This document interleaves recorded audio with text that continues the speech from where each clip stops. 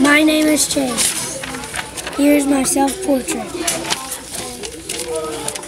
It is a self-portrait. I colored in the blank spaces and outlines. I like my self-portrait because it looks cool.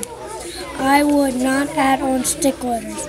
Next time I would look at it and trace what I see.